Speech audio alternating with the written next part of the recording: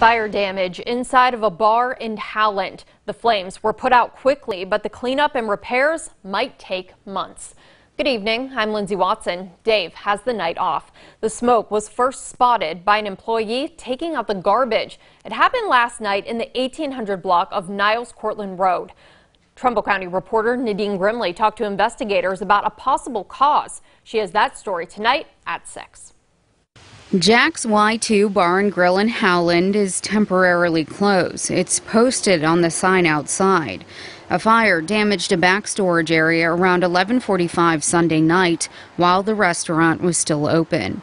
The smoke initially spotted by an employee who was taking the garbage out. There's a fire in the kitchen.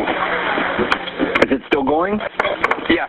Howland Fire Chief James Panalone says firefighters got there fast and were able to quickly put the fire out. He sent us these pictures of the damage. And we were lucky that there was someone still at that business and caught it.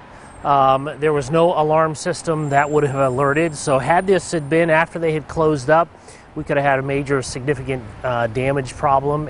At this point, investigators are leaning towards the fire's cause being electrical, but it remains under investigation. We've got to test the circuits. We did have two circuits that did trip in the breaker panel, uh, but we want to look at all those avenues as we begin the investigation and close it, close it up. Won't take too long, but just a couple more details that we're getting some information about. Fire damage was contained to that back storage area, but smoke did impact the back of the building, including the kitchen and a working office.